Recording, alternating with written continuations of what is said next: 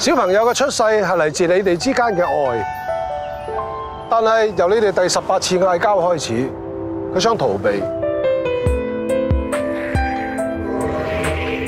可惜有啲嘢避无可避，积积埋埋，积积埋埋，佢就变得好灰。其实成件事唔使搞成咁嘅，连关系好得翻就梗系好啦。就算唔能够和好如初，你哋永远都系佢嘅父母。即使分开都可以陪佢一齐成长，